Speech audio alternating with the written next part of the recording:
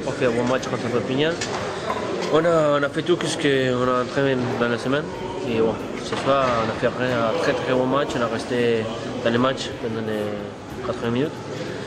On est arrivé à faire ce qu'on a fait C'est ça, ça qui est important. Et je crois qu'on a, comme je dis, on a resté dans le match. Et je crois que des fois, on, la tête de nous, ça, ça rendit un peu.